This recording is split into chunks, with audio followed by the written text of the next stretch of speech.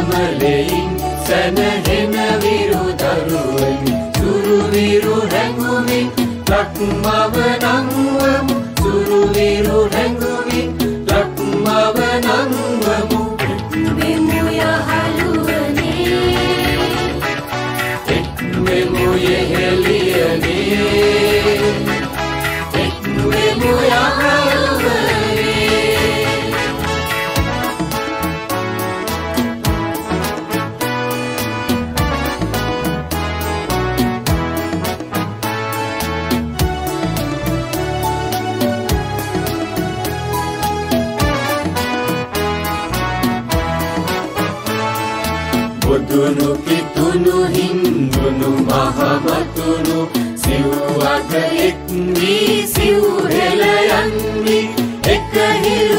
සඳු යට එළිය සිහිල ලැබ. කන්දෙරනේ උරුමය රැක ගන්නට කන්දෙරනේ උරුමය රැක ගන්නට. වෙමු යහළුවනේ එක්වෙමු යෙහෙලියනේ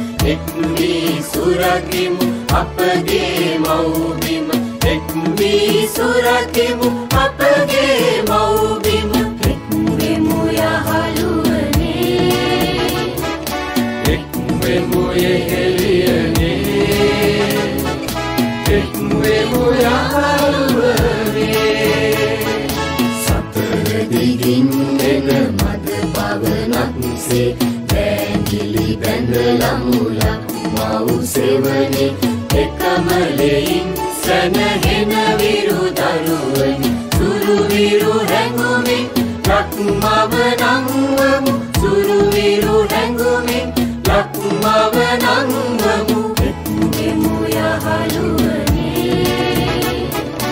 එක්වෙමු යෙහෙලියනේ එක්වෙමු යහළුවනේ.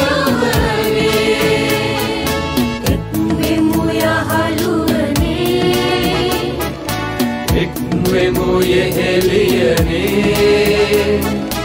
එක්වෙමු යහළුවනේ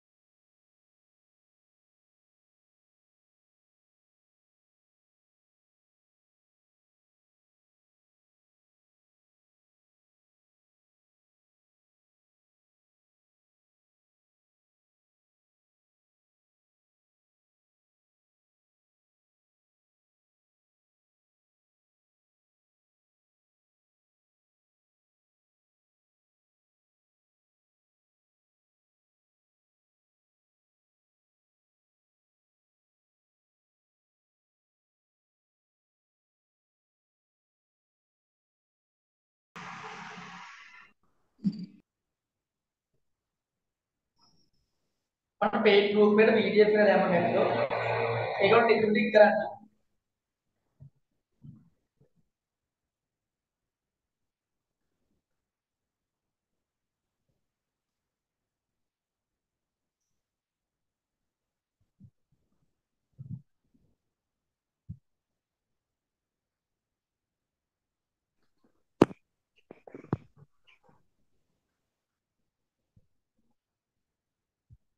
right. ප්‍රශ්න පාර විනාඩි දෙකක් තුනක් දෙන්න තමයි පළවෙනි ප්‍රශ්න පාර. ඇදුවයි ප්‍රතිමන්තා ගන්න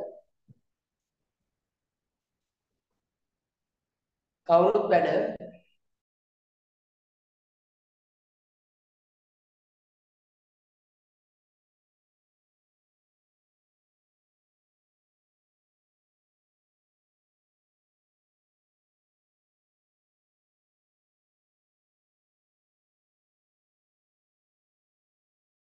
good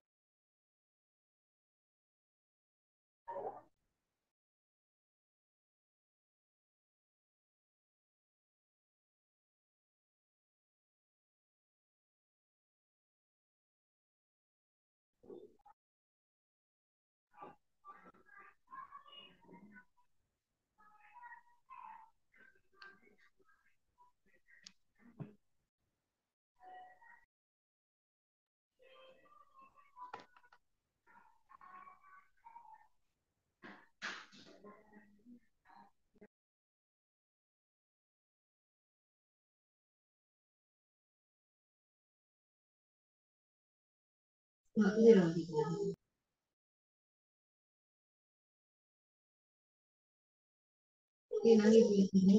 මම දාගන්න. කවුරුත් වැඩ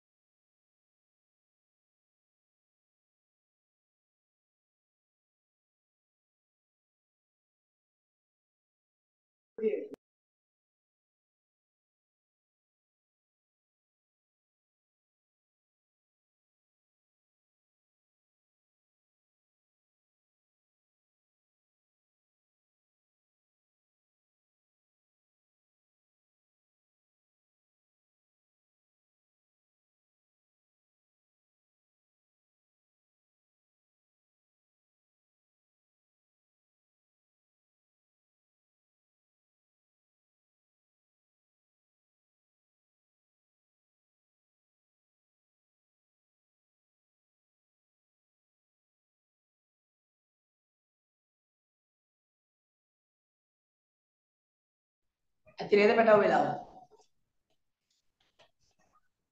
ආ මේ මයික් ඔෆ් කරලා තියෙන්නේ පොදු ලින්ක් එක දාපු නිසා. මේ WhatsApp එක මම දාව තියෙනවා.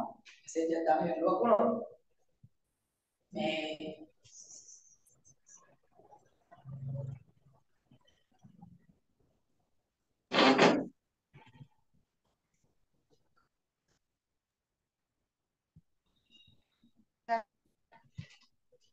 මයික් ඔන් කරලා තියෙන්නේ. ඔව් සර් ඔව් නේ ආ කමන්නේ. අපි මේක බලන්න. ප්‍රශ්නාංක 21. මිනිස්සු ප්‍රශ්නාංක 21. හොඳේ ගැටළු සාකච්ඡා කරලා යන්න පුළුවන්. අපේ දරුවනේ මයික් එක ඔන් කරලා තිබ්බට ඔයාලා පරිසරයේ මයික් එක පාවිච්චි කරන්න මේ ගාරවල සද්දපත් යනකොට මයික් ඔෆ් කරලා දාන්න. මයික් ඔන් එකේ යමු අපි. අපි අපේ පුතේ අපි. රයිට්. ප්‍රශ්නාංක 21 ඔයාලා ඉන්නවා වර්ගමූල 12 සඳහා වඩාත් ආසන්න අගය. පාඩම සම්නිකර්ෂණය. සම්නිකර්ෂණයේ කෙටි ප්‍රශ්නයක් එයි විලාසිස්තෝ පේපර් එකේ. ඒත් ඒ සම්නිකර්ෂණය කියලා කියන එක ගව වර්ගමූලට ආසන්න අගයක් ගන්නවා කියන්නේ. ඒ වර්ගමූල 12 සඳහා වඩාත් ආසන්න. ඒ වර්ගමූල 12 කියන්නේ 12 පූර්ණ වර්ගයක් නොවන නිසා අපිට ගන්න වෙන්නේ ආසන්න අගයක් විතරයි. මේක ආසන්න අගය ගන්න ඔයාලා තීර දෙන මුද පිළිතුරු කීයක්? ඉස්සරහට කියන 3.4 මාර්ගය 11.5යි ඊළඟ දින 3.5 වර්ගයේ පැටියෝ 12.2යි 6යි ඊළඟ දින 3.6 වර්ගයේ පුතේ 12.9යි 6යි දැන් ඔයාලා ඉන්නවා වර්ගමූල 12ට මේ මේ මේ මේ අගයන් තුලින් ගැලපෙන්නේ කවුද දැන් ඔයාලා බලන්න මෙන්න මේ 3.4 වර්ගයේ 3.4 3.4 ඉක්මනට 1.5යි දැන් මේ 12ගේ වර්ග මෙහෙමනේ ඔයාලා කවුරුත් ගන්න 12ගේ වර්ගමූලය තමාගනින්දී 12 පූර්ණ වර්ගයක් නෙවෙයි නිසා මීට වඩා වැඩි පූර්ණ වර්ගයක් 16. මීට වඩා අඩු පූර්ණ වර්ගයක් 9. 9 වර්ගමූලේ 3යි 12 වර්ගමූලේ දන්නේ නැහැ. 16 වර්ගමූලේ 8යි. පාරේම 12 වර්ගමූලේ 3යි 4යි 8යි. හරියට 12 වර්ගමූලේ 3යි 4යි 8යි. ඒ අතරගේ ඒ අතරගේ කියනවා. තුනට අතරගේ තුනදශම 1 තුනදශම 9 තමයි. හරිමගේ ඔයාලට ප්‍රාණන උත්තර දුන්නා දීලා තියෙනවා. 3.4 3.4 1.5යි මෙන්න මෙන්න. මේ අගයන් තුනේ පාරවල් 12කට වැඩිම කිට්ටු වගේ කවුද? මේ අගයන් තුනෙන් මට පේන්නේ 12ට කිට්ටු වගේ සිදු මේ. 12ට 0.4 අඩු මේ 12ට වඩා දශම දෙකක් වැඩි. එතන 12ට දශම 4යි අඩු 0.4 අඩු. ඒ නිසා 12ට වැඩිම කිට්ටු මෙයා. 12ට වැඩිම කිට්ටු මෙයා නම් කිව්වේ එයාලා දෙන්නේ වර්ග කරේ 0.4 එහෙනම් නිශ්චිත වශයෙන්ම 12 පළවෙනි සම්නිකර්ෂණයේ එන්නේ අරිමුත්තරේ නෙමෙයි ආසන්නයි 12.5. මම හිතනවා සම්නිකර්ෂණයෙන් ගන්න තව පරිමක ඩවුන් එක වැඩේ කොට දාලා කියලා. දැන් ප්‍රශ්නාංක 21. දැන් ප්‍රශ්නාංක 21. ප්‍රශ්නාංක 21 උත්තරේ ගන්න 12.5. තවත් එක්තරා පේපර් එකක් පමණයි මේක කියලා ඉතල හිතන්න එපා වැඩව. අවුරුදු ගානක පසුගිය විභාග අධ්‍යයනය කරලා තමයි මම ඔයාලට ඔය ප්‍රශ්න පත්‍රය සකසලා දෙන්නේ. සාහරියට වැඩි කරලා. හරි නේද? රයිට්. 12 වර්ගමූලයේ ඉන්නේ 3.4. රයිට්. මම යනවා ප්‍රශ්නාංක 22ට. හරිද? මේ බලන්න වැඩියෝ ප්‍රශ්නාංක 22. ප්‍රස්ථාර ගාන මෙහෙම දීලා x අක්ෂය මෙහෙම දීලා සුදු y අක්ෂය මෙහෙම රේඛාව දීලා රේඛාවේ සමීකරණය දීලා දෙකයි වගේ සමානයි. ඍණ x තන දීලා. මෙන්න මේ y අක්ෂය කැපෙන අගය දීලා තුනයි. දැන් දරුපැටියෙකුට මෙන්න මේ ආත්මණය උදේ දීලාවේ දෙකයි වගේ සමානයි ඍණ x තන දී කියන සමීකරණය. B දෙන්නේ කීයද? මේ සමීකරණය මේ රේඛාවේ සමීකරණය නා. සිතේ සමීකරණය නා. මේ තැන මෙතන ඔය වීර්යගේ වර්ණ ප්‍රස්තාර ගැන ඒකජ සිතවල ප්‍රස්තාර ගැන පට්ටාවෝදේ තියෙනවා. ඒකජ සිතේ ප්‍රස්තාරයෙන් එන්නම අනිවාර්යෙන් සරල රේඛාවක් හරිද?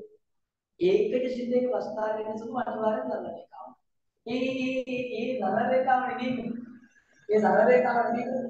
මේ මේ රේඛාවේ මේ මේ රේඛාව ඒ රේඛාවේ සමීකරණය මේක නා මෙතන කැපෙන තුර නම් මේ රේඛාවේ සමීකරණයේ දී b ගැන ගණන් කරනවා කරනවා මෙච්චරයි. මේ බලන්න. රේඛාවේ සමීකරණය දෙකයි y සමානයි රිලීස් දාන්නේ. මේ සමීකරණය බලන්න බලන්න y සමාන mx තන c ආකාරයට නෑ. මේ සමීකරණය y සමාන mx තන c ආකාරයට නැත්තම් බෑ. ඔය කදා ගන්න ගන්න එකට ඒ මේ පැත්තේ y තනි කරගන්න සෑම පදයක්ම දෙකෙන් දෙන්න. එතන කීයක් වත් නැත්නම් ඉස්සරහින් එක. ඉන්න භාගයේ ඉස්සර දීලා දැන් ඔයාලා නිකමට චෙක් කරලා බලන්න ගත්තොත් මේ රේඛාවේ සමීකරණය y සමානයි mx mx ධන c ආකාරයට හදාගත්තොත් මේ m කියන්නේ මේ අනුක්‍රමණය. වින බාන. මේ සිදුවන්න. අන්තර්කණ්ඩයේ තියෙන පීඩිත වෙනවා. එතකොට මේ රේඛාවේ සමීකරණය මගට ගාව. මේ රේඛාවේ සමීකරණය සීකරණ අන්තර්කණ්ඩයේ තියෙන පීඩිත වෙනවා.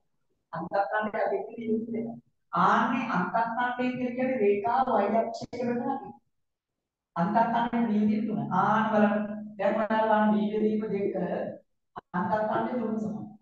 දැන් බෙදීම එක මේ යන්න බීජකම දෙක බෙදීම එක මේක තුන දෙකකින් මොකද තමයි. ඔය උත්තරේට යන්න නැහැ මේක අස්තරකට මට්ට අවබෝධයක් තියෙනවනේ. ඔයාලා මේ විදිහට අනේ ගත්තා නම් ඔයාලා සුපිරි මට්ටමක ඉන්න. ඔයාලා සුපිරි දැන් කියන්න. ඒ ප්‍රශ්නාංක 22.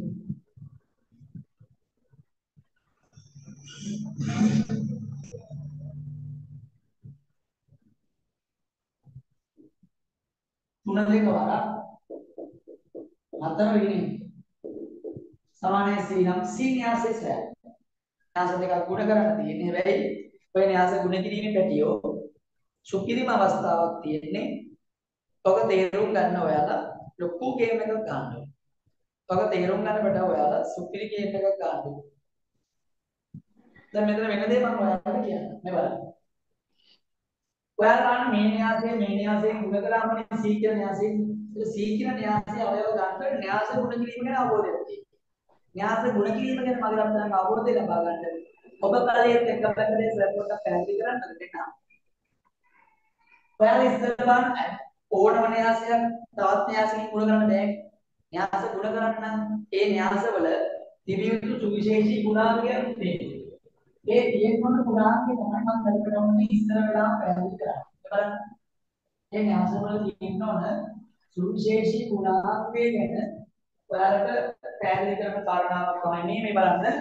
ඔයාලා ඉස්සෙල්ලා බලන්න මේ න්‍යාසයේ ගණේ මේ න්‍යාසයේ ගණේ කියන්නේ එල්ලම්පරේ ඉලක්කම එල්ලම්පරේ ඉලක්කම මේක පාර ඉලක්කම් දෙක මේ දෙක. ඉතින් පළවෙනියට තියෙන දෙකේ එකේ න්‍යාසයක්. මේ න්‍යාසය ගැන එල්ලම්පරේ තියෙන ඉලක්කම බලන්න. මෙයාට එකයි මෙයාට දෙකයි. මේක එකේ දෙකේ න්‍යාසයක්. ඇස්තර බලන්න මෙතන තියෙන අවයව ගන්න සමානයි. එහෙනම් න්‍යාසයේ කුල කරලා පළවෙනි න්‍යාසයේ තීර ගාන දෙවන න්‍යාසයේ පේලි ගාන සමානයි. එහෙනම් කුල කරන්න පුළුවන්. උත්තරයට සිදු මේ දෙකේ ගුණ දෙක. කියන්නේ උත්තරයට දෙකේ දෙකේ න්‍යාසය. දෙකේ දෙකේ න්‍යාසය. කියන්නේ පළවෙනි අවයව දෙකක් තියෙනවා අරණ්‍ය අවයව දෙකක් තියෙනවා. එතකොට මෙතනදි මම රත්න අපිට තේරුම් ගන්න සුවිශේෂී කාරණාව තමයි මේ න්‍යාස දෙක ගුණ කරාම අවයව හතරකින් යුත් න්‍යාසයක් කියනවා. ඒ න්‍යාසය ලබා ගන්න මගේ පැටියෝ අපි කල යුතු එකම එක දේ තේරුම් ගන්නවා. ඔයාලා දන්න න්‍යාස ගුණ කරන්නේ කොහොමද? පේලි තීරු වලින්. පේලි තීරු වලින්. පේලි තීරු වලින්. එතකොට මේ න්‍යාස දෙක ගුණ කරන්නේ මොකද කරන්නේ? පළවෙනි න්‍යාසයේ පළවෙනි පේලි තුන. මේ තීරු අතරින් ගුණ කරනවා. මෙයාගේ පළවෙනි පේලි තුන. මෙයාගේ තීරු ඉනිකින් ගුණ. මෙයාගේ දෙවෙනි පේලි දෙක. තීරු අතරින් ගුණ. මෙයාගේ දෙවෙනි පේලි දෙක.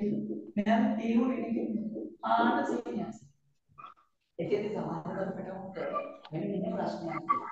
දැන් සාමාන්‍ය න්‍යාස දෙකක් ගුණ කරනකොට සුදු මෙහෙමනේ. දැන් මේ න්‍යාස දෙකක් ගුණ කරනකොට පේළිය තීරුවේ ගුණ කරද්දි මෙයා මෙයාගේ ගුණ කරනවා මෙයා මෙයාගේ ගුණ කරනවා. ඕකනේ විදිය. හැබැයි ඒ ගන්න වල මේක වෙනස් කරලා. මේකේ තියෙන වෙනස කියන්නේ සර්. ඔයාලා බලන්න මේ න්‍යාසයේ මේ න්‍යාසයේ මේ මේ අවයවයේ න්‍යාගේ ගුණ කරන්නේ. මේ පේළිය මේ තීරුවේ ගුණ කරද්දි මේ පේළිය තමයි බලන්නේ. මේ පේළිය මෙතන තව අවයවයක් නැහැ. එහෙනම් මෙතන අනිවාර්යෙන් ඊළඟට තියෙන අවයවය බිඳුව. හරිද? මෙයාගේ ඊළඟට තියෙන අවයවය බිඳුව. ඉතින් මෙතන ඊළඟ අවයව බිඳුව. මෙයාගේ පහළවෙනි අවයව බිඳුව. බිඳුව බිඳුවේ ගුණ කරන ස්ටෙප් එක මේක නෑ. මෙයා මෙයාගේ ගුණ කරලා මෙතන ඉන්නේ බිඳුව කරන්නේ මේ ඒ ස්ටෙප් එක නෑ. ඇයි මේ අවයවයක් නෑ යලත් අවයවයක් නෑ. එහෙනම් මේ දෙක ගුණ කරලා නේද? මෙයා මෙයාගෙන් මෙන්න. මෙයා මෙයාගෙන් මෙන්න. මෙයා මෙයාගෙන් මෙන්න. මෙයා මෙයාගෙන් මෙන්න. ලස්සන අවයව අතරක් වෙනවා. මේක න්‍යාසවල සුවිශේෂී අවස්ථාවක්. හැබැයි මම තීරි පන්තියේ මේක නම් පැහැදිලි කරලා දෙනවා මේ දෙක ගුණ කරන්නේ කියලා. නේද? තුනරින් එකේ කියන තුන, දෙකරින් එකේ කියන දෙක. මම කෝස් කරන්න දුන්නේ මොකද කරන්නේ? බබාලා කෑ ගන්න වෙනවා. බබාලා වැලගෙන නෙමෙයිනේ. මොකෝ කියන්නේ?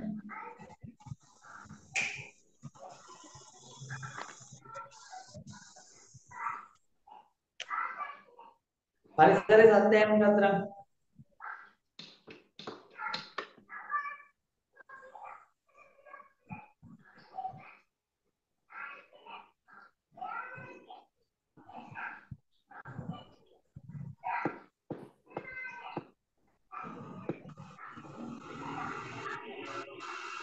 ඊළඟට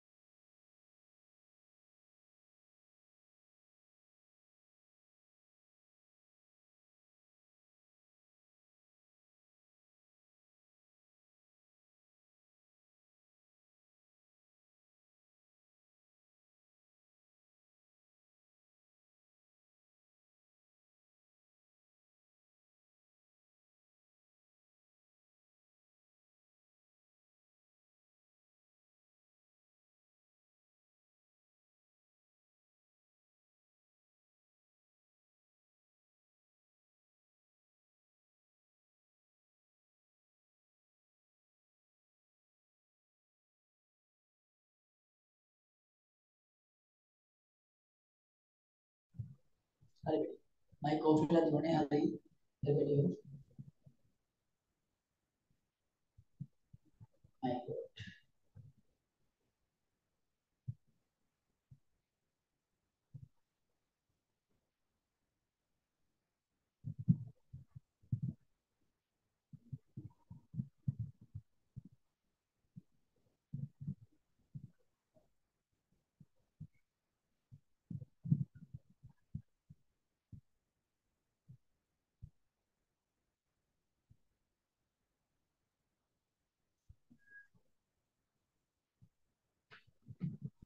පුතේ අපි වෙනද කරේ වර්ග සමීකරණය දුන්නාම මූලය වුණේ. දැන් මේකේ කරේ මූලය දුන්නාම වර්ග සමීකරණය ගත්තා. ඊපස්සේ පුරුදු වෙන්න. ඊපස්සේ පුරුදු වෙන්න. මම යනවා දරුවටවත් එක්ක ඊළඟ ප්‍රශ්නෙට ප්‍රශ්නාංක 25. බලන්න 25 වෙනි ප්‍රශ්නේ කියන දේ. මෙහෙම ත්‍රිකෝණයක් හිතවන්න දීලා.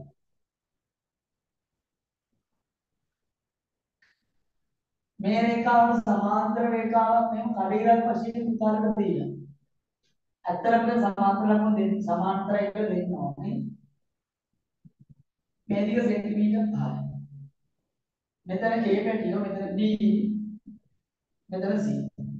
ඔන්න බලන්න පතන නිර්මාණ වලින් සදිපු ගාන. ඔන්න කියන දේවල්නේ BC ට මීටර් 5ක් දුරින් නෝදේ BC ට සෙන්ටිමීටර් 5ක් නේ BC ට සෙන්ටිමීටර් 5ක් දුරින් නෝදේ. ඔයාලා ගන්න පතවර කතා. ඒකෙන් මේ තුන්වෙනි පදේ තුන්වෙනි පදේ තමයි රේඛාවකට නියත දුරකින් තරණය ලක්ෂ්‍ය පදේ කියන්නේ මේ රේඛාව සමාන්තර රේඛාව. මේ රේඛාව දුරු සමාන්තර රේඛාවක් තමයි චලන ලක්ෂ්‍ය පදේ කියන්නේ. හරිනේ මෙයාට සමාන්තර රේඛාව තමයි මේ රේඛාව ලියන දුරකින් චලන ලක්ෂයක පතේ BC ට සෙන්ටිමීටර් 5ක් දුරින් නෝද AB හා BC ට සමාන දුරින් මේ AB කියන්නේ මෙයා BC කියන්නේ මෙයා මේ රේඛා දෙකම සමදුරින් පිටන ඒ හතරවෙනි පතේ එක රේඛා දෙකකට සමදුරින් චලනය වන ලක්ෂයක පතේ කියන්නේ කෝණ සමච්ඡේද කෝණ සමච්ඡේදයක නිර්මාණය කරන්නේ මේ. මේ රේඛාවට සෙන්ටිමීටර් 5ක් නම් මෙහාමද වෙන්න ඕන. මේ රේඛාවට සමදුරින් නම් මේ කෝණ සමච්ඡේදයක මත වෙන්න ඒ දෙකම ගැලපෙන පත දෙකම කැපෙන තැන පීඩන ලක්ෂය B සොයාගන්න කරන යාමික නිර්මාණය තමයි සිදු වෙන්නේ. ඔය කෙටි ප්‍රශ්න පත්‍රයේ ඉතිරි ප්‍රශ්න පහ සාකච්ඡාවේ නිමාව අපිට පුළුවන් මගේ දරුවන්ට එක්ක ඉස්සරහට යන්න.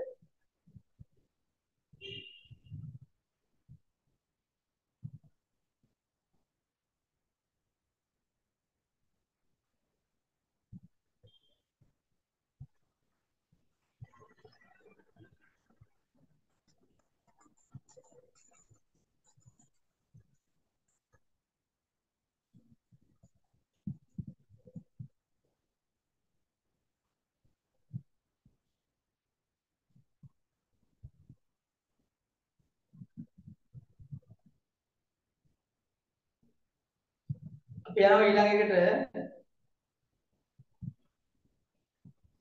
මේ පාර O level න්‍යාසයෙන් නැද්ද කියලා අහනවා. එනම දානවා පුතේ සියල්ල එනවා කියලා වැඩ කරන්නේ එච්චරයි. සියල්ල එනවා කියලා වැඩ කරන්නේ එච්චරයි. සියලුම පාඩම් එනවා එච්චරයි. නැත්නම් ඔයාලා ඉස්සරහට යද්දි ගැටලු වෙනවා. මම නම් සියල්ලම උත්තරම පෙන්නනවා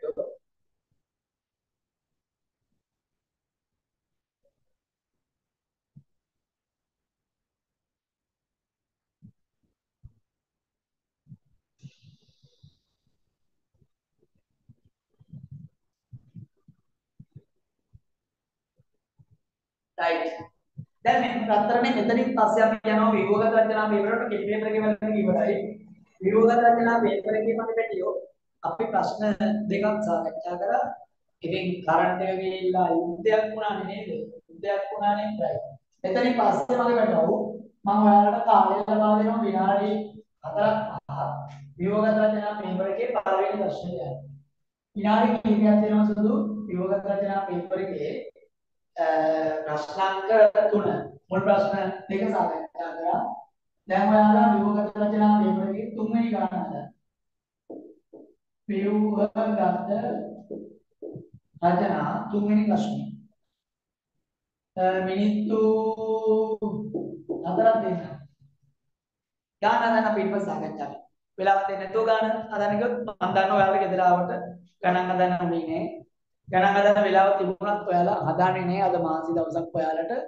ඒත් මගේ බඩව මේක කල් දැම්ම නම් කෙරෙන්නේ නැහැ. රයිට්? මගේ මාසි ගැන හිතුවේ නෑ මම උදේ ගමන් මම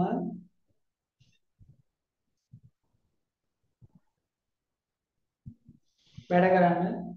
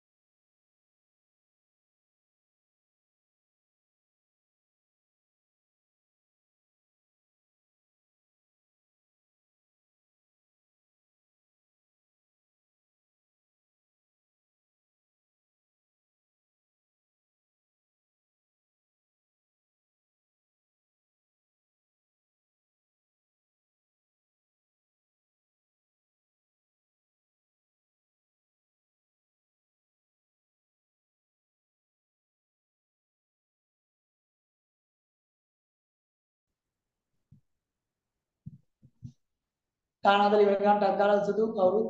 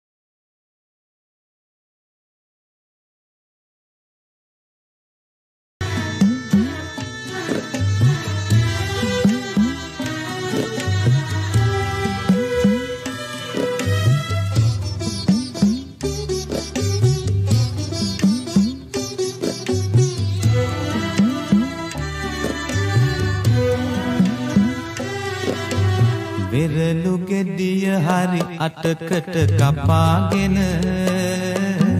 කොටහක් නොකාද ගුරුන්ටත් තබාගෙන උන් අපි එදා සත්කුළු පව්විලාසෙන පැලයිනි වැටට ඇයි අද ඇන කොටාගෙන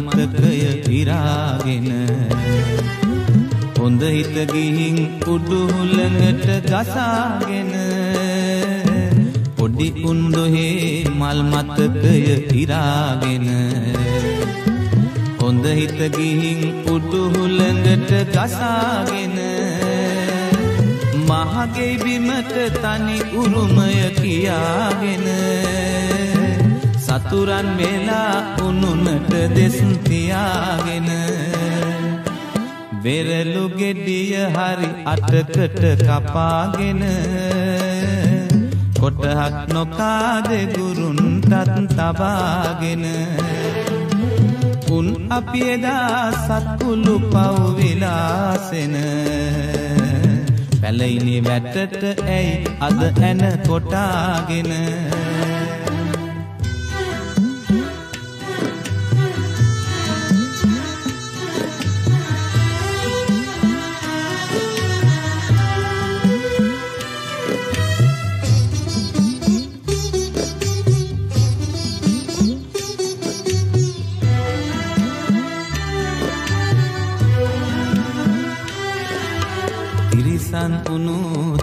උනුතින් කිසි හවුහරණ නැති. ලන්දක කකා ලන්දක කල්යල් හරිති.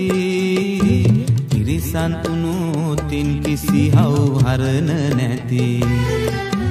ලන්දක කකා ලන්දක කල්යල් හරිති.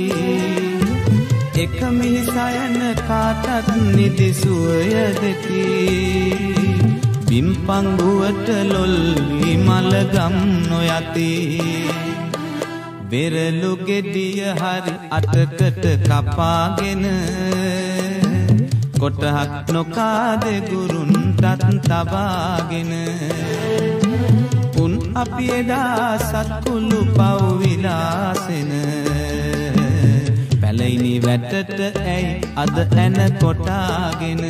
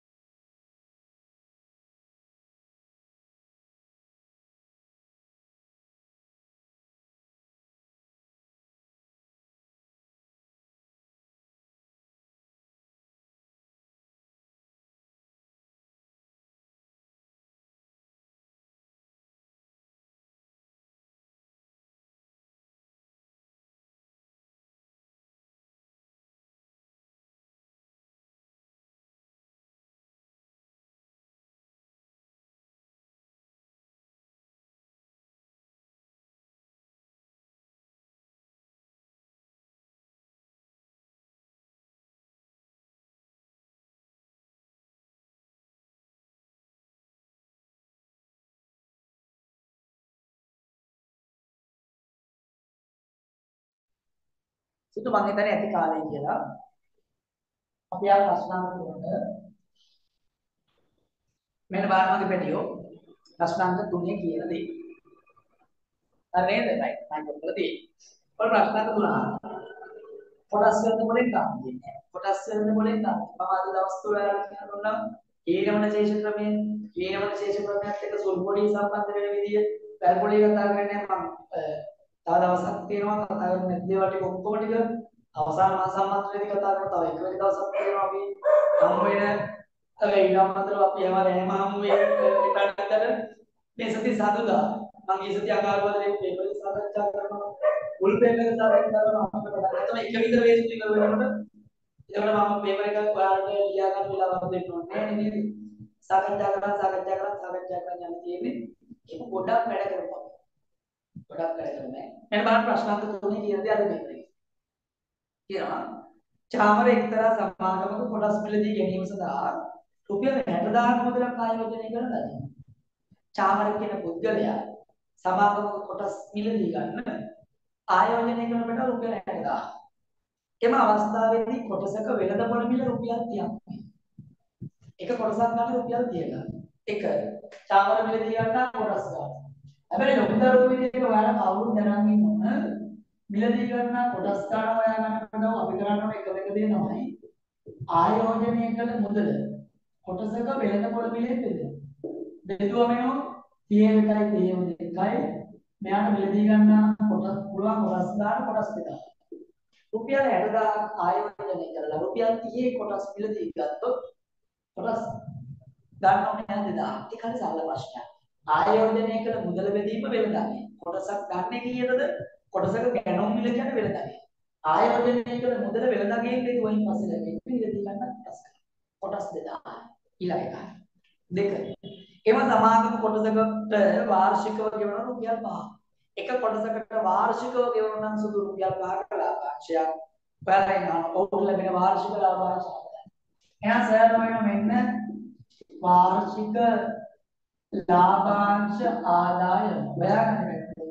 කොටස් වලින් ලැබෙන වාර්ෂික ලාභාංශ ආදායම හොයන්න කොටසක වාර්ෂික ලාභාංශය කොටස් ගානේ හොයන්න. එහෙනම් මෙයාට කොටස් වලින් ලැබෙන ලාභාංශ ආදායම දෙක රුපියල් 1000යි. මම විශ්වාස කරනවා ඔයාලට දෙන්න යන්න පුළුවන්කම තියෙනවා. මම විශ්වාස කරනවා ඔයාලට දෙන්න යන්න පුළුවන්කම තියෙනවා. right. අපි යනවා එතනින් පස්සේ බලන්න මොකද කරන්නේ. දැන් කියනවා වසරක ආදායම ලැබීමෙන් පසු චාර්ට් තමා සතු සියලු කොටස් කොටසක වෙළඳපොළ මිල රුපියල් 35ක් වූ අවස්ථාවේ කුරුතක කොටසක් ගන්න තියෙනවා. 30ට ගත්ත කොටස කොටසක මිල වැඩි වෙනවා 35ට. වැඩි වෙච්ච වෙලාවෙදී වුණා. 30ට ගත්ත කොටස 35ට දුන්නා. 30ට ගත්ත කොටස 35ට දුන්නාදී අන්න ගැනුම් මිලට වඩා විකුණුම් මිල පාරක් වැඩි වෙනවා.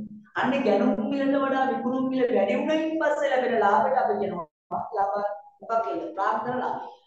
ඒ කොටස 35ට විකුණනම කොටසක ගැනුම් මිලට වඩා වැඩි මුදලකට විකිණීමේදී ලැබෙන කොටස් වලද පොළ ලාභය ප්‍රාර්ථනා ලාභය. කොටසකින් ලැබෙන රුපියල් 5ක ප්‍රාර්ථනා ලාභය. දැන් කියන දේ බලන්න. 35ක් වූ අවස්ථාවේ විකුණු ලබයි. කොටස් විකුණා ලැබූ මුදල ආදායමක් යන දෙකේ එකතුව කොටසක් දුනා රුපියල් 6ක වාර්ෂික ලාභාංශයක් ගෙවන වෙනත් සමාගමක රුපියල් 35ක් වූ කොටස් මිලදී ගැනීමට යොදවනු ලබයි. තුන පළමු සමාගමේ කොටස් විකිණීමෙන් ලැබෙන ප්‍රාර්ථනා ලාභය. පුතේ පළමු සමාගමේ කොටස් විකිණීමෙන් ලැබෙන ප්‍රාර්ථනා ලාභය කියලා කියනකොට 30 කොටසක් 35කට විකුණනම ලැබෙන ප්‍රාර්ථනා ලාභය රුපියල් 5යි. එක කොටසකින් ලැබෙන ප්‍රාර්ථනා ලාභය රුපියල් 5යි. කොටස් 2000ක් විකුණනවා. එහෙනම් කොටස් 2000කින් ලැබෙන ප්‍රාර්ථනා ලාභය රුපියල් 1000යි. ප්‍රාර්ථනා ලාභයෙන් තන සුදු දාලා. දැන් ඔයාලට කියන මේ දෙවන සමාගමවල ආදායම පළමු සමාගමවල ආදායමට වඩා කොපමණ මුදලකින් වැඩි වෙනවා. ඒකට නතර වෙන කොටස. හැබැයි හතරවෙනි කොටස කලින් තුන්වෙනි කොටස උඩින් දීලා තියෙන බගක් තියෙනවා නැවත කියනවා. නේ? වසරක ආදායම ලැබීමෙන් පසු වසරක ආදායම කියන්නේ සාධාරණ ආදායමක් ලැබෙනවා.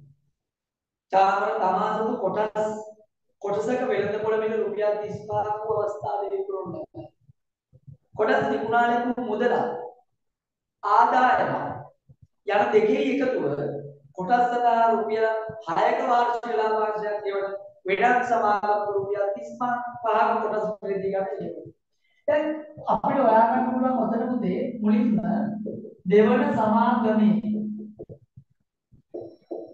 ආයෝජනය කළ මුදල දෙවන සමාගමේ ආයෝජනය කළ මුදල ගන්නේ පළමු සමාගමේ ආයෝජනය කළ මුදල 60000 අතර පළවෙනි අවුරුද්දේ ලාභාංශ ආදායම 10000 කොටස් විකුණනයින් පස්සේ ලැබෙන ප්‍රාර්ථනා ලාභය ඒත් 10000 එහෙනම් දෙවෙනි සමාගමට ආයෝජනය කරන්නේ පළමු සමාගමේ කොටස් විකුණනනේ කොහොමද 35 ගන්න.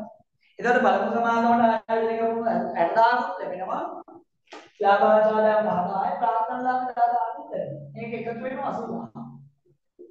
එහෙනම් අපිට දෙවෙනි සමාගමේ කොටස් මුලදී ගන්න ආයෝජනය කළ මුදලෙන් රුපියල් 80000. බලන්න මොනවද කියන්නේ? දෙන්නේ නැහැ වෙන්නේ.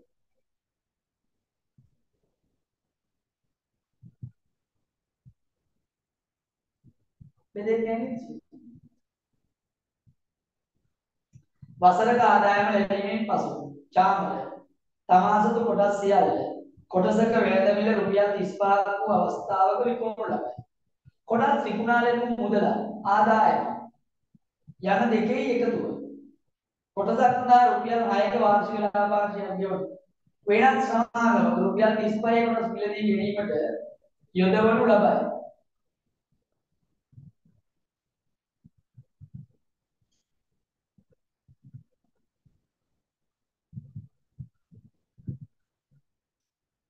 කොටස් දෙදා විකුණන්නේ 35 ගානේ 70000ට.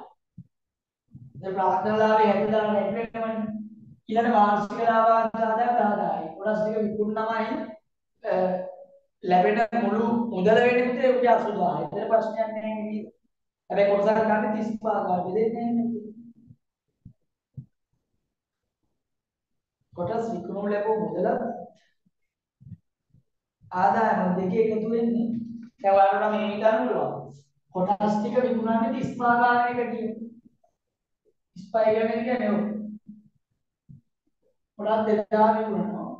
ඊට අමතරව ලාභාංශ ආදායම දානවා. මේ දෙක එකතු වෙන්න රුපියල් 80000. දැන් යාර බෙදිගන්න පුළුවන් කොටස් ගන්න හොයන්න. රුපියල් 80000 ගන්න 35 ගන්න කොටස්. බෙදෙන්නේ නැහැ. සාමාන්‍යයෙන් බෙදෙන්න ඕනේ සුළු. මගේ අතින් සුළු කරද්දී මොකක් හරි වැරද්දක් වෙලා දෙන්නම් වරම මෙසේජ් එකක් දාන්න.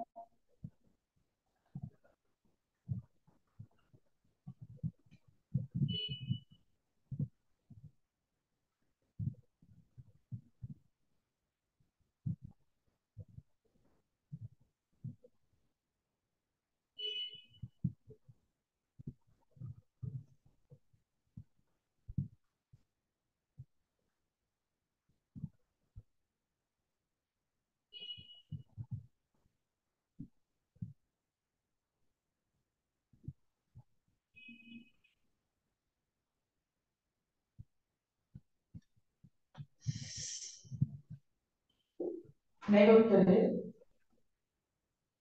දැන් මේක මේක බෙදෙන්නේ අපිට දශමකයක් තියෙන්නේ හොඳේ දැන් ඔයාලගෙන් අහනවා දෙවන සමාගමේ ලද ආදායම. ඒක දෙවන සමාගමේ ආදායම ගන්න මෙතන එන කොටස් ගන්න. කොටසකට කොට මාය ගන්න බාරකට තියෙන්නේ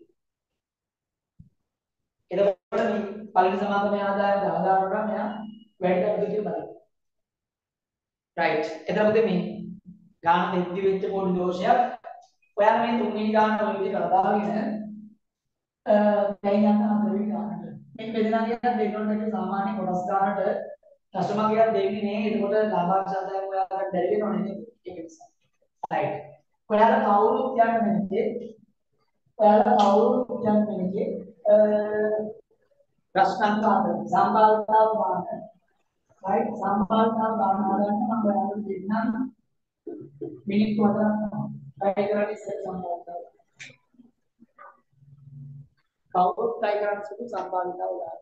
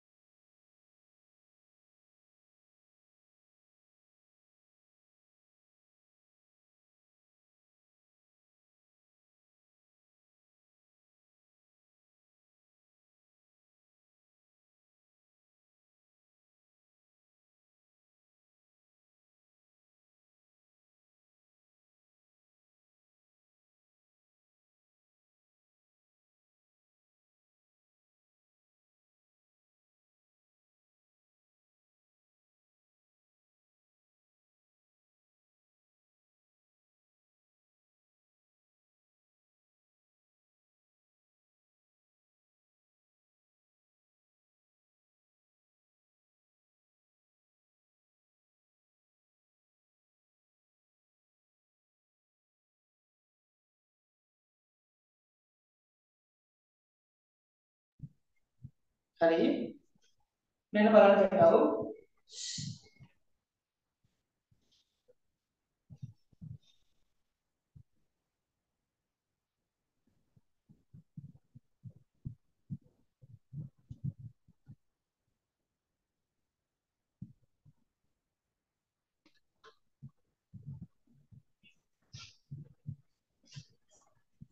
මානසික අපකට වැඩි වුණේ හරි. පටන් ගන්න.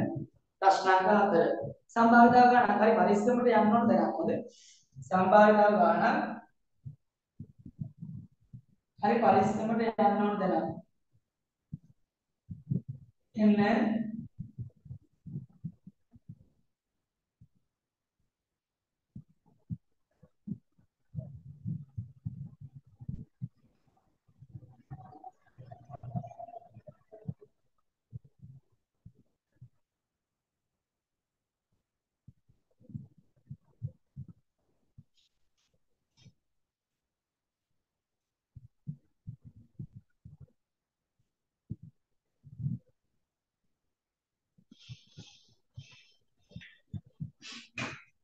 මේ බලන්නට මේ භාජනයක් මේ භාජනයේ තියෙනවා රතු පාට බෝල තුනයි නිල් පාට බ්ලූ බෝල දෙකයි. ඒ භාජනය B භාජනයේ තියෙනකොට මේ B භාජනයේ තියෙනවා කහ පාට බෝල තුනක් එච්චරයි. දැන් මම බලන්න ගානේ කියන්නේ ඒ වාදනේ ඒ වාදනේ බෝලයක් ඉවතට ගනී. එම සිද්ධිය රූප සටහනේ දක්වන්නේ. ඔයාලා දානකට සසම්පාදයේ පරීක්ෂණයට අදාළව නියති අවකාශයේ නිරූපණය කරන භාවිතා කරන ක්‍රමයක් තමයි මොකක්ද කියලා කියන්නේ. රූප සටහන. එතකොට මෙන්න මේ වාදනයේ පිටට බෝලයක් විපරිණතදී එකිනෙකට වෙනස්ව ලැබෙන්න පුළුවන් ප්‍රතිඵල දෙකයි. එක්ක රතු බෝලයක් ලැබෙන්න පුළුවන් එක්ක නිල් බෝලයක් ලැබෙන්න පුළුවන්. මේ ඒ වාදනේ මේ පුතේ ඒ වාදනේ ඒ වාදනයේ තියෙන මුල් බෝල ගන්න පහයි ඒකෙන් තුනක් රතු. ඒකෙන් දෙකක් මේ. ඒකෙන් තුනක් රතු දෙකක් මේ. හැබැයි මේක අර ලස්සන කතාවක් කියන මේ තමයි ඊළඟට. ඔන්න බලන්න ඊළඟට කතාව දෙවෙනි කොටසේ කියනවා අතරනේ ඒ වාදනයෙන්ගත් බෝලේ B වාදනයට දානවා. මේ ඒ වාදනයෙන් ගත්ත බෝලේ මෙන්න මේ බෝලේ සුදු දානවා B වාදනය.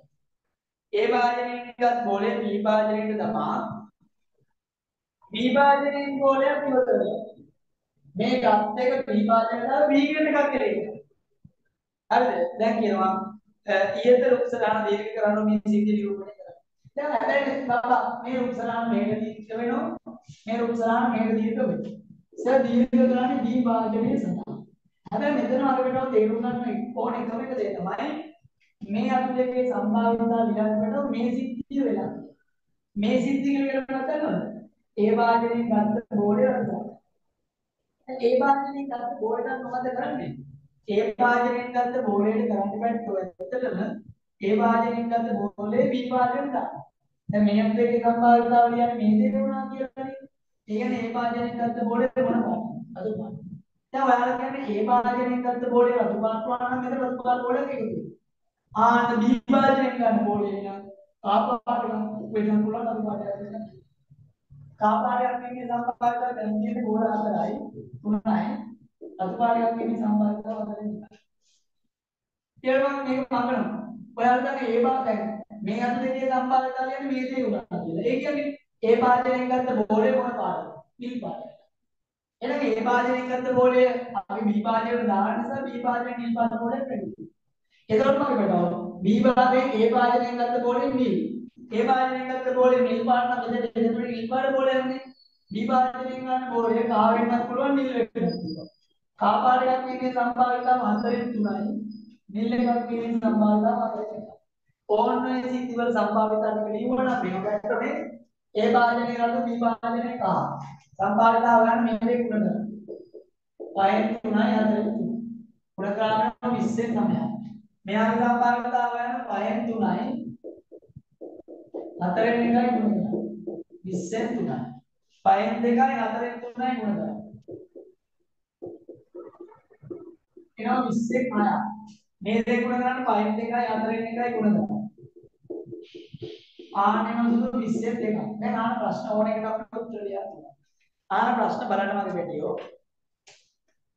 අහන ඊළඟ ප්‍රශ්නේ තමයි සුදු රුක්සා දීර්ඝ කරා භාජන දෙකෙන්ම රතු ගෝලයක් යොදා ගැනීම සම්බන්ධයි. ඒ භාජනයෙන් ගන්න ගෝලයක් රතු වෙලා බී භාජනයෙන් ගෝලයක් රතු වීමේ සිස්ටම් එක.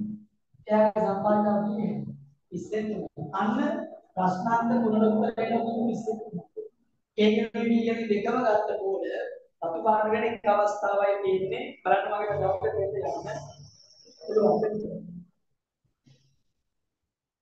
හරි නේද?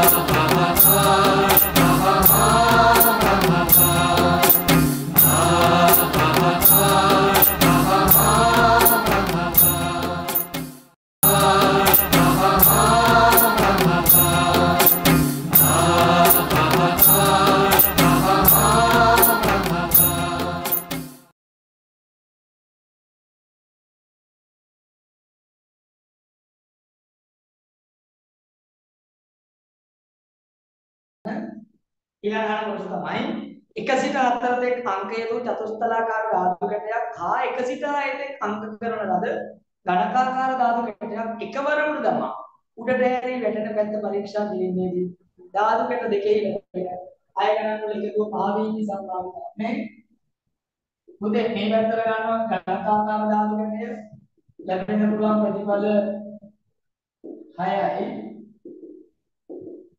මේ පැත්තට ලැබෙනවා චතුස්තලාකාර ධාතු කැටය ලැබෙන්න පුළුවන් ප්‍රතිඵල හතරයි නියම අවකාශයේ අතිරවණයෙන් නිරූපණය කරාම සෑම ලක්ෂයක්ම ලකුණු වෙන්න ඕනි කියලා දරුවටවන්ට මගේ තේරෙන්න ඕන ලස්සනයි වැඩි අහන ප්‍රශ්න වලට උත්තර ලියන්න විතරයි නේද දැන් මගේ පැටව මේ අහන්නේ උඩ ධාතු කැට දෙක උඩ දමා උඩනෑලී යටින පැත්ත පරීක්ෂා කිරීමේදී ධාතු පැන දෙකේ ලැබෙන අය ගණන් වල එකතුව පහ.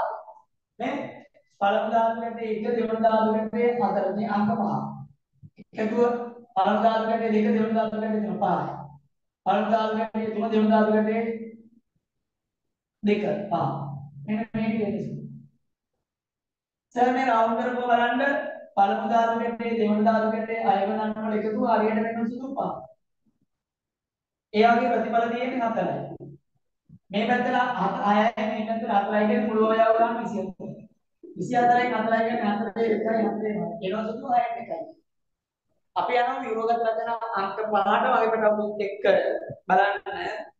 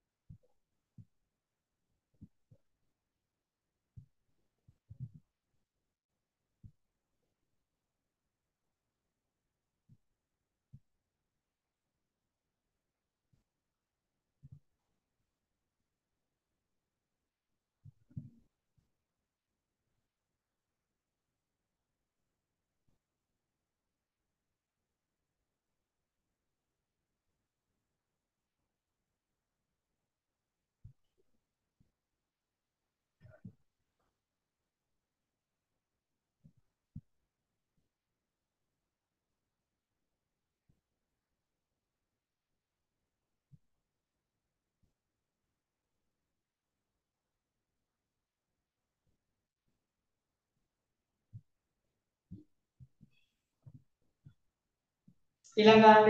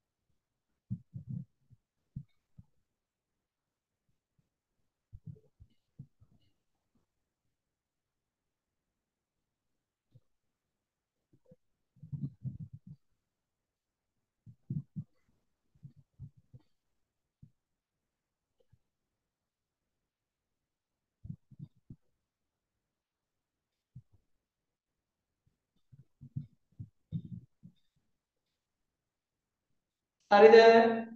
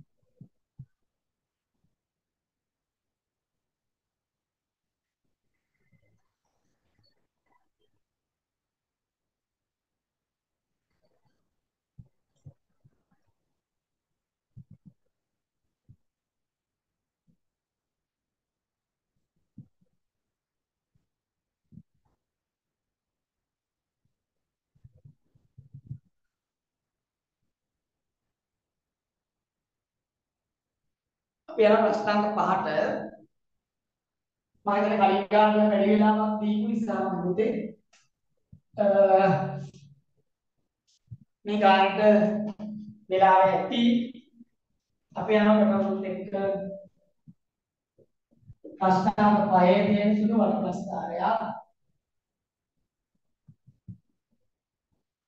පැරණ මම කොට් කළ කරනවා ලේසි කියලා මට හිතෙනවා.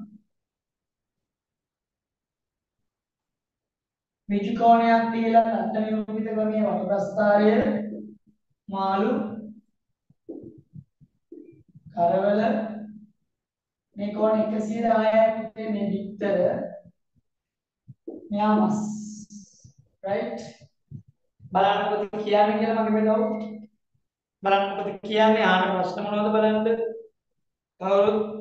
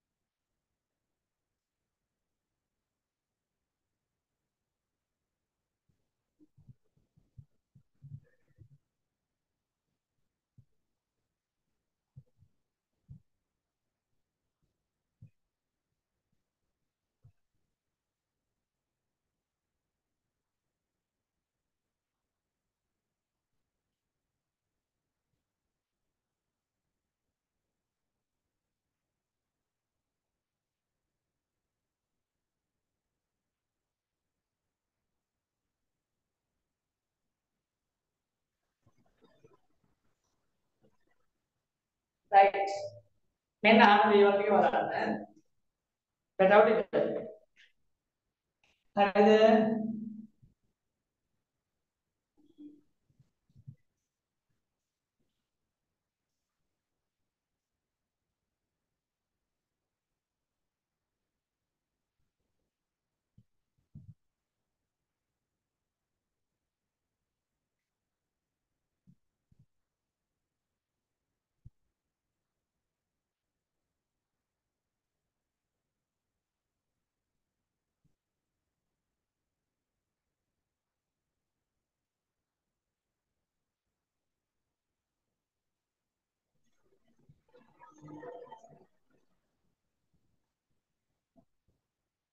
right මෙන්න ප්‍රශ්නාංක පහ. මගේ පැත්ත බලගන්න එක්තරා නේවාසිකාගාරයක රැඳී සිටින පිරිසක්. එක් දිනක රාත්‍රී ආහාර තෝරාගත් ආකාරයේ රූපේ දී ඇති පරිපස්ථාරයෙන් දැක්වේ. සෑම පුද්ගලයෙකුම එක් ආහාරයක් පමණක් තෝරා ගන්න ලදී. එක. මස් තෝරාගත් පිරිස කරවල තෝරාගත් පිරිස මෙන් තුන් ගුණයක් නමුතේ මස් තෝරේ කරවල තෝරාගත් පිරිස කේන්ද්‍ර කෝණය x කිය වෙනම මෙතන 3යි.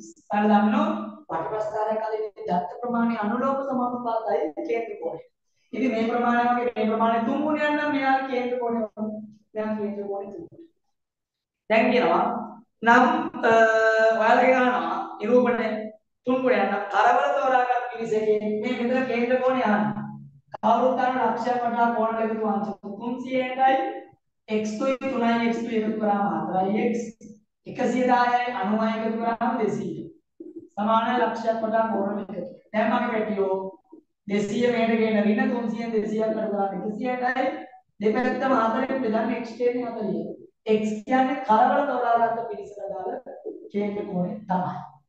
එහෙමයි නේද? එහෙම තමයි. දැන් අහනවා මාළු තෝරාගත් පිරිස 18ක් නම් මාළු තෝරාගත් පිරිස 18යිලු. ඔයාලා ගන්න බිත්තර තෝරාගත් පිරිස. පුතේ මාළු තෝරාගත් පිරිස නිරූපණය කරන්නේ අංශක අනුමත. එහෙනම් අංශක අනුමත කියන්නේ 18 දෙනෙක්. එතකොට එක අංශකයක් කියන්නේ කීයක්ද කියලා ඔයා ගන්න 18 අනුමත බෙදන්න.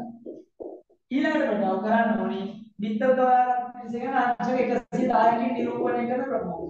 ඒක ඔයා ගන්න එක අංශකයකින් නිරූපණය කරන ප්‍රමාණය මේ නම් ඒ අංශක 110කින් නිරූපණය කරන ප්‍රමාණය නම් 110යි බිඳුවට බිඳුව ගන්නවා 9 එකයි 9 දෙකයි දෙවරක් 11 දෙකයි ආන් බලන්න එයා අංශක 110කින් නිරූපණය කරන ප්‍රමාණය ඒවත් බිත්තර තෝරාගන්න ඉතින් ලස්සනට මම බතාවෝ 22යි කියලා.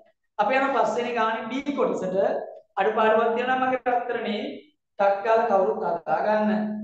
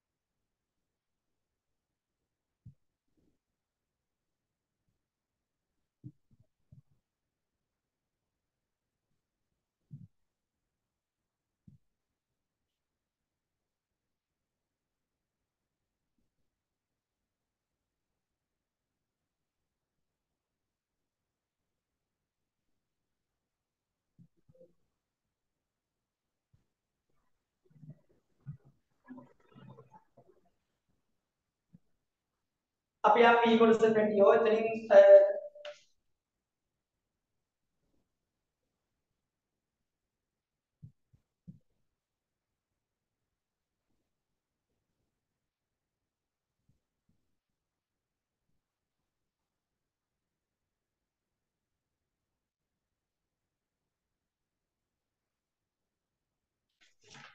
බලන්න B කොටස කවුරුත්.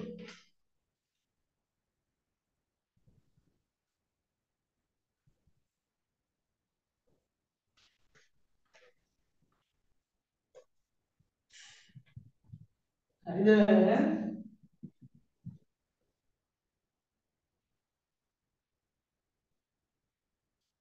අපි යම් B කොටසට මගේ පැටිය ඕන බලන්න කියන දේ.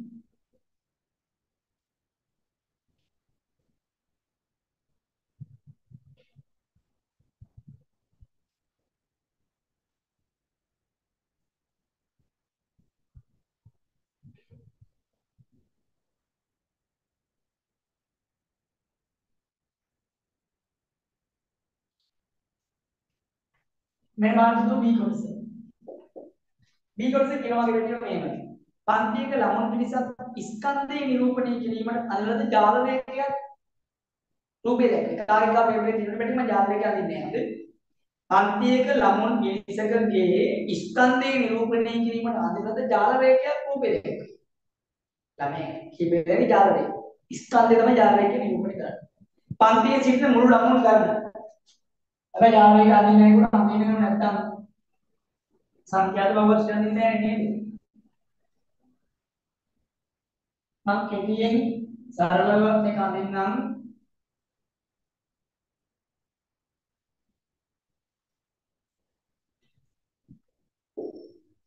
බලන්න. පැරාග්‍රාෆ් පේපරේ තියෙන නිසා මම සරලව අදිනවා. දැන් පන්තියේ සිටින මුළු ළමයි ගන්න. පුතේ ඔයාලා බලන්න මෙන්න මේ මෙන්න මේ ස්තන් මේ ස්තම්භයට දාලා සිසුන් ගාන දෙකයි. මේ බබා මෙහා මුලාපන්ති ප්‍රාන්තයේ තරම වගේ දෙගුණයක්. මෙතන ළමයි ගාන නිරූපණය 6යි මේක දෙගුණයක් නිසා ළමයි ගාන 12ක් වෙනවා. මෙතන ළමයි ගාන පුතේ බලන්න 10 9යි නේ. අර මේ 9 වගේ 10ක් නැහැ ඊළඟ එක පුතේ මුලාපන්ති ප්‍රාන්තය වගේ තුන් ගුණයක්. උස තියෙන දෙකයි. උස තියෙන්නේ දෙක නෙවෙයි තුනයි. තුනේම තුනක් එන නමයයි. මේ උස තියෙන පැත්තට මෙතන තුන.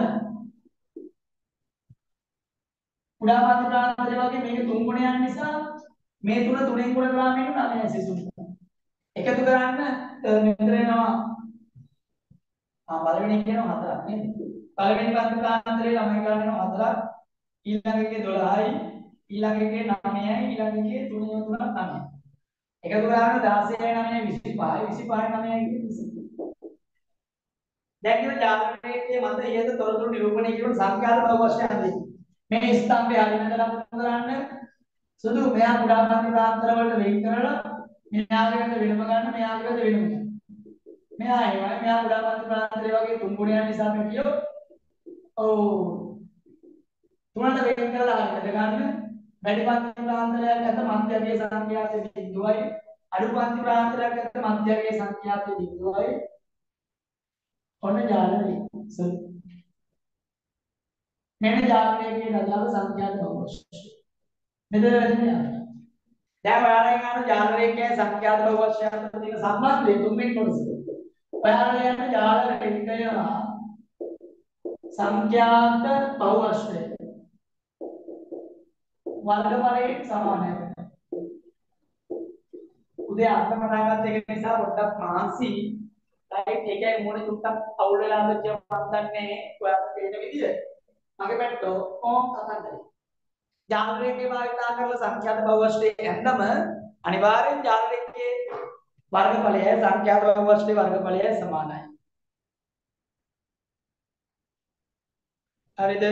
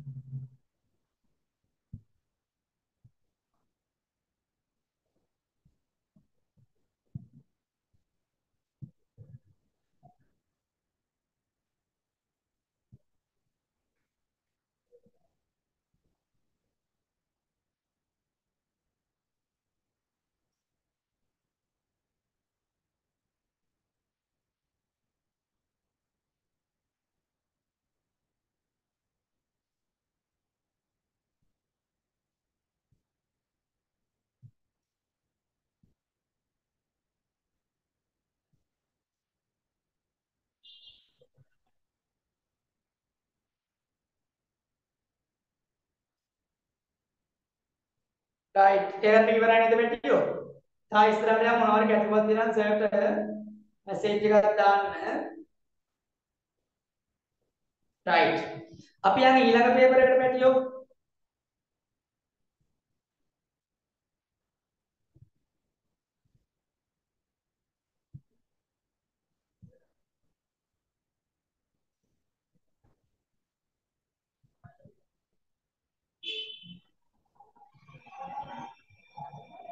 රයිට් අපි යන් දෙක පත් වෙන්න නේද? ඔන්න පළවෙනි පත්‍රය වැඩි ඉවරයි සිදු. AB කොටස් දෙකේම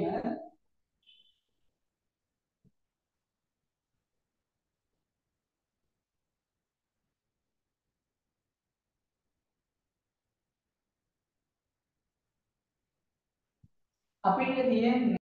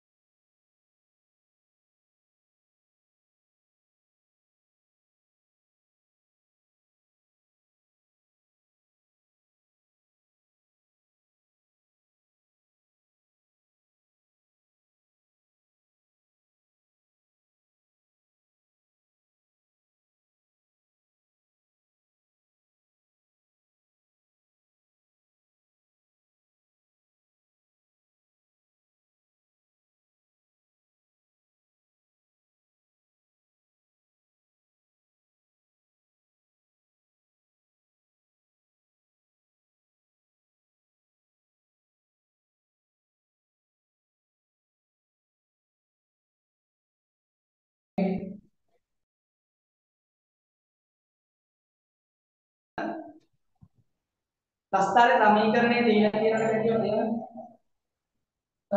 y සමානයි x වාරය 4 වෙනි x ඍණ x දෙකේ y දීලා නෑනේ x කියන හැම තැනම දෙක ආදේශ කරනවා පරාණය කියන්නේ ගුණ කරන්න කියලා හතරෙන් දෙකක් දෙකයි හතරෙන් එකක් ඔන්න ඉස්තර දැන් අගේ වගේ වැඩ ඉවර නිසා වැඩ සුදුසු කණ්ඩායමට තලයේ ප්‍රස්තාර කඩදාසි පිළිෙන අන්තිම ප්‍රස්තාර දැන් ප්‍රස්තාරයේ අන්තිම පිටියෝ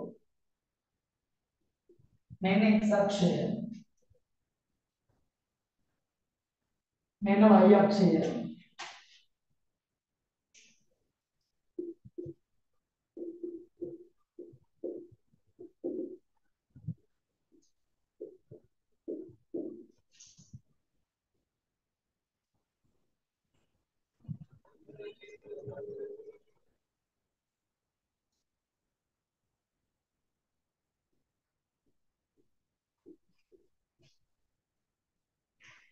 එක් ශ්‍රේණියේ y විනාය කියන්නේ මෙතන x බිඳුවේදී y එකයි කියන්නේ මෙතන x එකේදී y දෙකයි x දෙකේදී y තුනයි x තුනේදී y ඍණ එකයි x හතරේදී y ඍණ එකයි x පහේදී y ඍණ නවයයි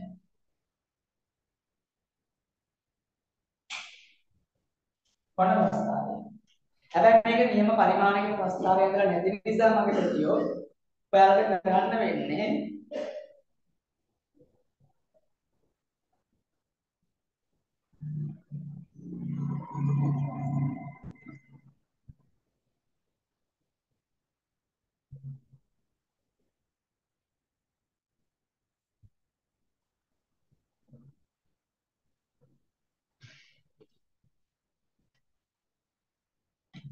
අහන ප්‍රශ්න වල උත්තර ලියන්න. ඒක ඔයාලා මට WhatsApp එකේ දෙන්න මේකේ මේ. ඔයාලා ප්‍රස්තාර කඩදාසි ගන්න නම් උත්තර දාන්න. නැත්නම් මට මේකේ මේ අහන ප්‍රශ්න වල උත්තර ලියා ගන්න බැරි වෙනවා.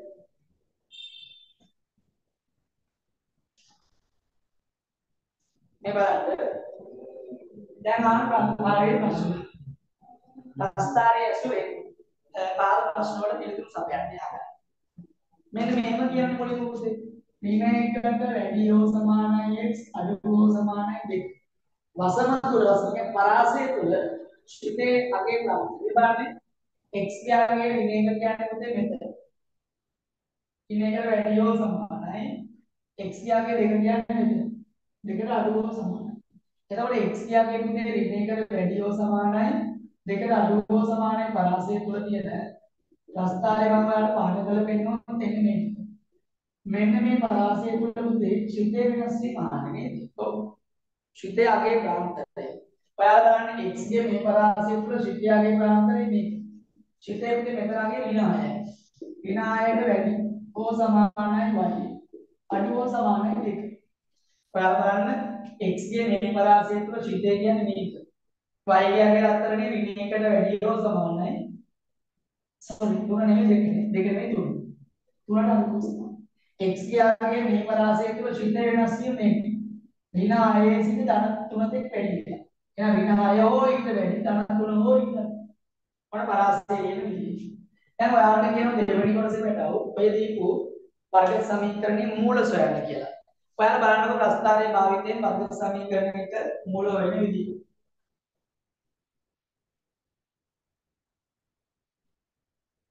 නේද? right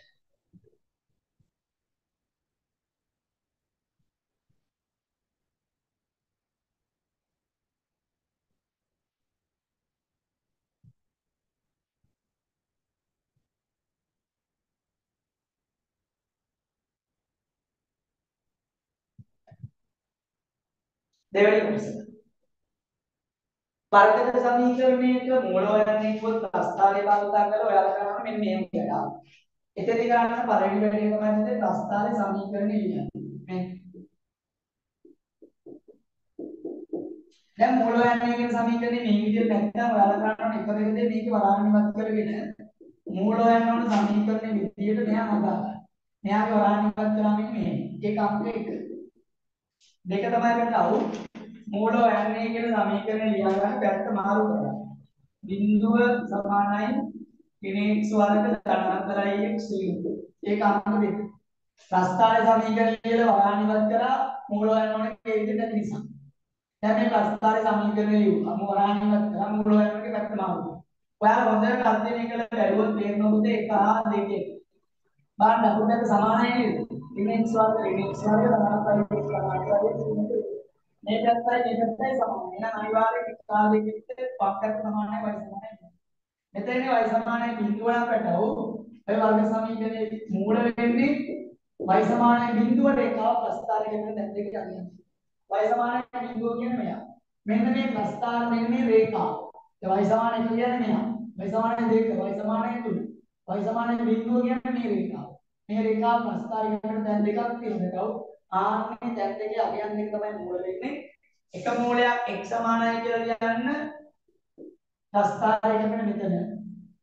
අනිත් මූලය අනිත් මූලය x සමානයි කියලා ලියන්න සුදු ප්‍රස්ථාරයකට මෙතන. මේ අගයන් දෙක මම නිශ්චිතවම ලියන්නේ බැරි මගේ පැත්තෝ ප්‍රස්ථාර කඩදාසියක ප්‍රස්ථාරය යනකෝ නැති නිසා.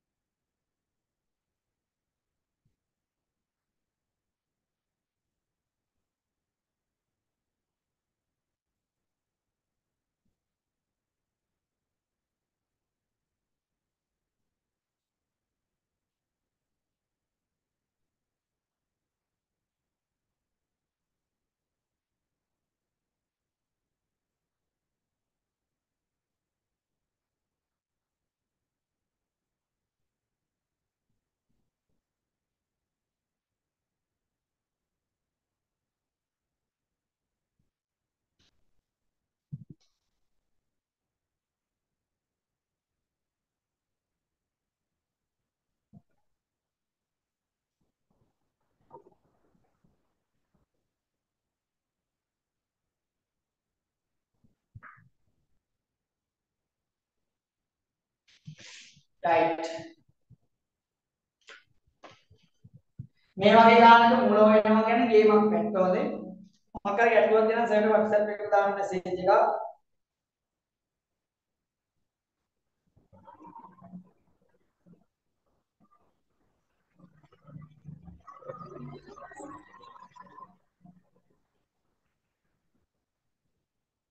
සමහර දරුවෝ සම්පූර්ණ පේපර් එක කරලා ඉවරයිලු ෂෝක්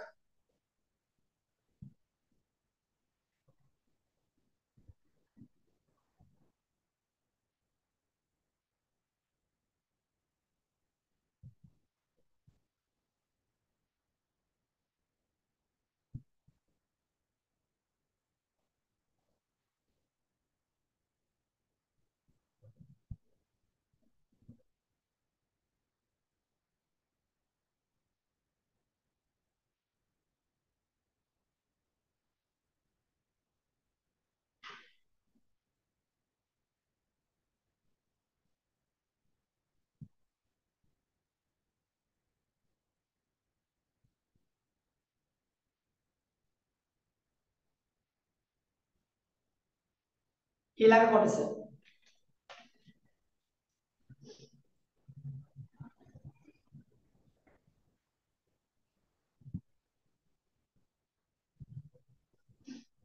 මෙන්න මේකේ අන්තිම කොටස කියන මෙහෙම y සමානයි 4 වාරයක් අත් x වාරයක් 4 වෙනි x ශ්‍රිතයේ ප්‍රස්ථාරය x අක්ෂයේ ධන දිශාවට ඒකක දෙකක්ද? Y අක්ෂයේ ධන දිශාවට ඒකක. මේ ප්‍රස්ථාරයට අවු y අක්ෂයේ ධන දිශාව කියන්නේ උඩ. උඩට ඒකක දෙකක්. y අක්ෂයේ ධන දිශාවට ඒකක දෙකක් කියොත් එතන උඩනේ හතර පහ. මේ සංස්කාරයේ මොන්නේ කියන්නේ පරිදක්ෂණ අංශාවේ පරිමේ අග්ගේ ධන දිශාවට එක දෙකට ඇරෙන්නේ උඩද ඊළඟට කියන x අක්ෂයේ ධන දිශාවට ඒක දෙකක්. එතන සීක් බව සම්මුතික රේඛාවෙන් x සමානයි දෙකනේ. මෙහෙට එක එක ගියා. X අක්ෂ ධන දිශාවට එක එක. දැන් විනාවක් එන්නේ ඔයාලා පිළිගන්නවත් ගන්න ඒ වුණොත් ප්‍රස්ථාරයේ ශීර්ෂයෙන් මෙතෙන්ද ඔයාලා මේ ප්‍රස්ථාරයේ මෙහෙම ඒකක දෙකක් උඩට අරගෙන එතකොට උපරිමගේ එන්නේ පාර. මෙහෙම ගන්නවා ඒක එකක් x අක්ෂ දන්න දැන් ඒක. එකක් එතකොට සමානික රේඛාව වෙන්නේ තුනේ. දැන් ආන ප්‍රස්ථාරයේ සමීකරණය. දැන් ආන ප්‍රස්ථාරයේ සමීකරණය. දැන් මේ ප්‍රස්ථාරයේ උපරිමය නිසා පැට්ටෝ ඔයාලා සමීකරණය ගන්න ගියාම y සමානයි උපරිම අගේ එන්නේ එහෙමනම් පහ ඍණ ඍණ වෙන්න බඩ ඔයාලා දාන ප්‍රස්ථාරයේ උපරිමයක් නම් අනිවාර්යෙන්ම x ගේ පරදීය පදේ ඍණ වෙන්න ඕනි. ප්‍රස්ථාරයේ උපරිමයක් උපරිමගේ එන්නේ පහ නිසා ඉහළ දෙයක දෙකයි මෙහෙට දෙයක දෙකයි ගත්තම උපරිම ලක්ෂය එන්නේ මෙතන. ඒ උපරිම ලක්ෂය එන්නේ පහ සාමිතික රේඛාවෙන් එන්නේ තුන. එතකොට අපි මේ ශීර්ෂය ගන්න හදනනම් ප්‍රස්තාරේ සමීකරණය මේ ආකාරයෙන් ලියන්න පුළුවන්. මේ ආකාරයෙන් ලියද්දී උපරිම අගයේ ඉන්නේ පහනේ. ඍණ සාමාන්‍ය රේඛාවෙන්නේ x සමානයි 3. සාමාන්‍ය රේඛාවේ x සමානයි 3 නම් මෙතන ඉන්නේ x ඍණ 3 වර්ගය. හේතුව තමයි මෙන්න මෙයා බිඳුවට සමාන කරාම සාමාන්‍ය රේඛාව අනිවාර්යෙන් ඉන්නවා. ඒක ටිකක් සැර කතාවක්. ප්‍රස්තාරේ ටිකක් හොඳ ගානක්. ඔයාලා හිතන්න ඇවිත් නම් ලොකු දෙයක්.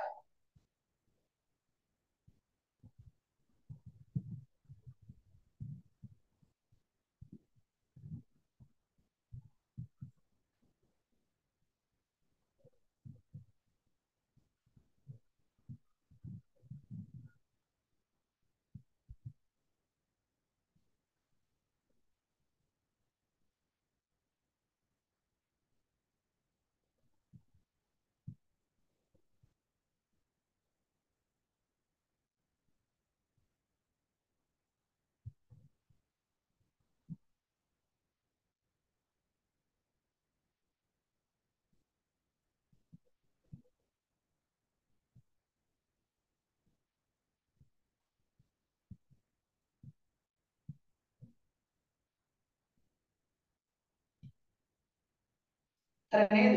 right.